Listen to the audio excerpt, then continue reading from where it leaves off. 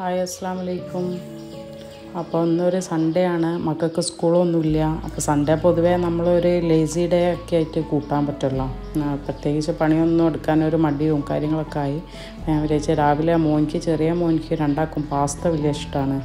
അപ്പോൾ ന്യൂസ് പേപ്പറൊക്കെ ചായയൊക്കെ കുടിച്ച് ഒന്ന് കുറച്ച് കഴിഞ്ഞിട്ട് അതിന്റെ ഇടയിൽ പേപ്പർ വായിക്കുന്നതിന്റെ ഇടയിൽ ഞാൻ പാസ്ത വേവിക്കാൻ വേണ്ടിയിട്ട് ഇട്ടിട്ടുണ്ട്. അപ്പം ജസ്റ്റ് രാവിലെ ഒന്ന് ഒരു ന്യൂസ് പേപ്പർ വായിച്ചു കഴിഞ്ഞാൽ ഒരു ഇതാണല്ലോ. അങ്ങനെ പേപ്പറൊക്കെ വായിക്കാൻ വേണ്ടി വന്നതാണ്.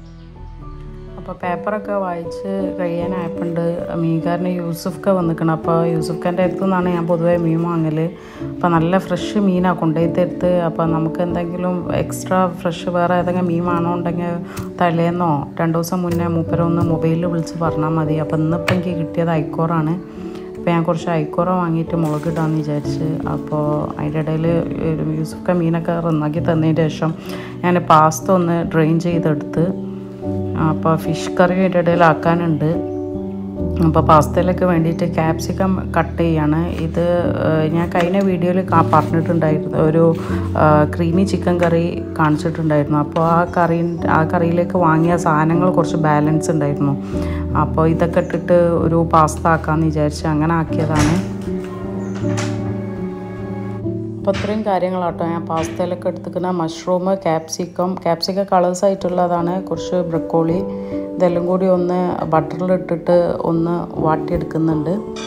അപ്പോൾ വെജിറ്റബിൾസ് എല്ലാം കൂടി ബട്ടർ ഒന്ന് ചൂടായി വരുമ്പോൾ ഞാൻ ഇതിലേക്ക് വെളുത്തുള്ളി ആദ്യം ഇട്ട് കൊടുക്കുന്നുണ്ട്. വെളുത്തുള്ളി ഒന്ന് ഒന്ന് അങ്ങോട്ടും ഇങ്ങോട്ടും ആക്കിയതിന്റെ ശേഷം ഈ വെജിറ്റബിൾസ് എല്ലാം കൂടി ഒന്നിട്ടിട്ട് ഇതിലിട്ടിട്ട് ഒന്ന് വാട്ടിയെടുക്കാം. അപ്പോൾ കട്ട് ചെയ്ത് വെച്ചിട്ടുള്ള ബ്രക്കോളി ഇട്ടു. അങ്ങനെ എല്ലാ വെജിറ്റബിൾസും കൂടി ഇട്ടിട്ട് ഈ ബട്ടറിൽ കിടന്നിട്ട് ഒന്ന് മൂടി വെച്ചിട്ട് ഒരു ത്രീ ത്രീ മിനിറ്റ്സ് അങ്ങനെ ഒന്ന് ഇടയ്ക്ക് ഇളക്കി കൊടുത്താൽ മതി. മൂടി വെച്ച് ഒന്ന് വേവിപ്പിക്കാം.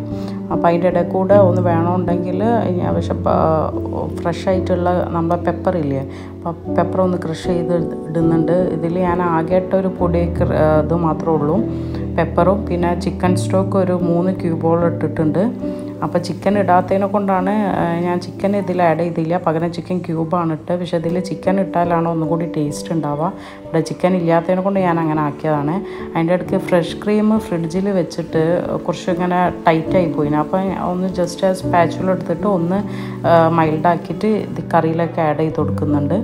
അപ്പോൾ ഈ വെജിറ്റബിൾ വേവിച്ചതിന് ശേഷം ഈ ഫ്രഷ് ക്രീമും പെപ്പറും ചിക്കൻ സ്റ്റോക്ക് ഒരു രണ്ടെണ്ണത്തോളം ഇട്ട് കൊടുത്തിക്കണേ പിന്നെ അതേപോലെ ഈ പാസ്ത വേവിക്കുന്ന സമയത്തും ഒരു രണ്ട് ചിക്കൻ സ്റ്റോക്ക് ഇട്ട് കൊടുത്തിട്ടിക്കണ് അപ്പോൾ ഉപ്പ് ഏറി പോകരുത് ചിക്കൻ സ്റ്റോക്കിൽ ഉപ്പുള്ളതാണ്. അപ്പോൾ നോക്കിയിട്ട് ഇട്ട് കൊടുത്താൽ മതി. ഉപ്പിന്റെ കാര്യം ലാസ്റ്റ് ലൈറ്റ് ലാസ്റ്റ് ആഡ് ചെയ്താൽ മതി. അപ്പോൾ ഇതെല്ലാം കൂടി ഇട്ടിട്ട് ഒന്ന് ജസ്റ്റ് ഒന്ന് വേവിച്ചെടുത്ത് ക്രീമും എല്ലാം ഇട്ടിട്ട് ഒന്ന് നന്നായിട്ട് മിക്സ് ചെയ്തതാട്ടോ അപ്പോൾ ഇതിന്റെ ഇടയിൽ കൂടെ എന്റെ സ്പൂണ് വെക്കുന്ന സ്പൂൺ റെസ്റ്റർ പൊട്ടിപ്പോയി. അപ്പോൾ ഇതുണ്ടെങ്കിൽ നല്ലതാണ്. എന്താണെന്ന് വെച്ചാൽ നമ്മൾ കൗണ്ടർ ടോപ്പിന്റെ മുകളിലൊന്നും മസാലയും കാര്യങ്ങളൊന്നും ആവില്ല ഡയറക്റ്റ് അതിന്റെ മുകളിലേക്ക് വെച്ചാൽ മതിയല്ലോ.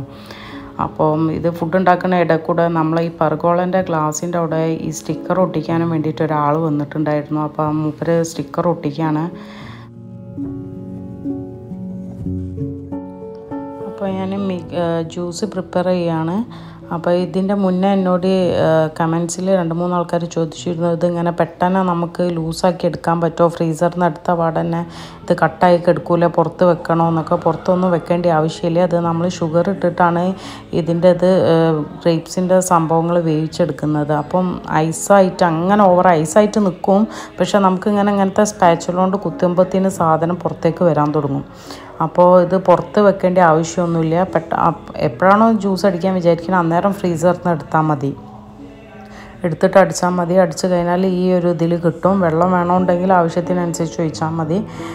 അങ്ങനെ അയാൾക്ക് ഞാൻ ജ്യൂസൊക്കെ കൊടുത്തു. അത് കഴിഞ്ഞ് പാസ്ത കുറച്ച് തറവാട്ടിലേക്ക് ഉമ്മക്ക് കൊടുത്തേക്കാമെന്ന് വിചാരിച്ച്. ചിച്ചുക്കാന്റെ ഉമ്മക്ക് കുറച്ച് പാസ്ത കൊണ്ടുപോയി കൊടുക്കാണ്. അപ്പോൾ പാസ്ത ഒക്കെ കൊണ്ടുപോയി കൊടുത്ത് കഴിഞ്ഞതിന്റെ ശേഷം ഞാൻ രാവിലെ യൂസഫ് ഖാനോട് വാങ്ങിയ മീൻ മുളക് വെച്ച്. അപ്പം മീൻ മുളക് ഇപ്പം ഈ മുളക് ഞാൻ വെറുതെ ഇട്ട് വെച്ചതായിരുന്നു. എന്തെങ്കിലും കറിയായിട്ട് അവിടെ കിടന്നോട്ടെന്ന് വിചാരിച്ചതാണ്. അപ്പം പിന്നെ വിചാരിച്ചു എന്നാൽ പുട്ട് ചൂടാന്ന് വിചാരിച്ചു. പാസ്ത ഓൾറെഡി കുട്ടിയാക്കാണ് കരുതിയത്. അപ്പം എനിക്കും ചുച്ചുക്കൊക്കെ ഒന്നും പാസ്ത വലിയ രാവിലെ വലിയ ഇഷ്ടമില്ല. മക്കൾക്കേ ഉള്ളൂ ഇഷ്ടം. അപ്പം ഞാൻ നമുക്ക് രണ്ടാക്കും പുട്ടാക്കാമെന്ന് വിചാരിച്ച് അങ്ങനെ പുട്ട് ചൂടാണ്.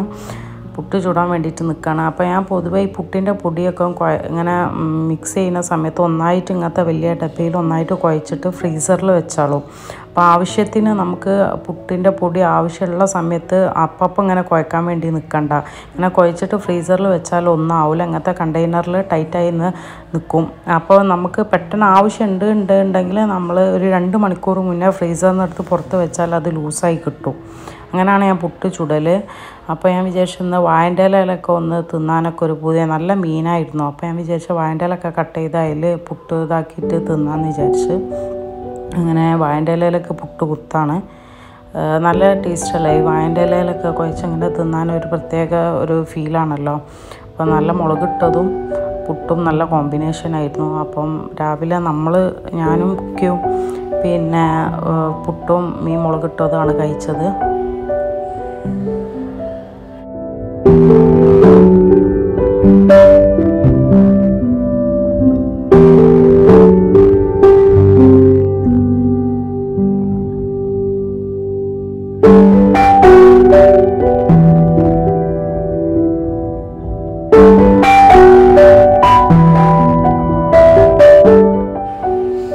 ഭക്ഷണമൊക്കെ കഴിഞ്ഞ് ഒരു ഫോർ തേർട്ടി ആയപ്പോൾ വൈകുന്നേരം നമ്മൾ എന്റെ ഒരു കസിൻ എന്റെ അമ്മോന്റെ മകൾ ഡെലിവറി കഴിഞ്ഞ് ഹോസ്പിറ്റലിലായിരുന്നു അപ്പം അവളെ ബേബിനെ കാണാൻ വേണ്ടിയിട്ട് നമ്മൾ പോവാണ്. അപ്പം അതിനുള്ള ഒരുക്കത്തിലാണ്. പിന്നെ രാത്രി ഭക്ഷണമൊക്കെ കഴിഞ്ഞിട്ടാണ് വീട്ടിലേക്ക് തിരിച്ചെത്തിയത്.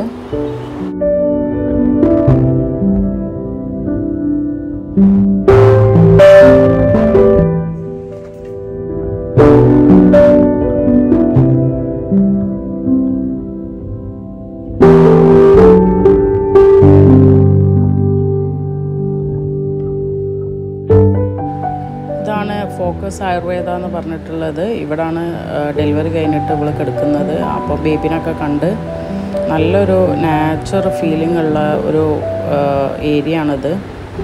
അപ്പം ഇതൊക്കെ കഴിഞ്ഞു നമ്മൾ വീട്ടിലേക്ക് പോവാണ്. രാത്രി ഭക്ഷണം പുറത്തുനിന്ന് കഴിച്ച് അങ്ങനെ എന്താ അവന്റെ വ്ളോഗ് ഇവിടെ അവസാനിക്കുകയാണ്. എല്ലാവർക്കും ഇഷ്ടപ്പെട്ടെന്ന് കരുതുന്നു.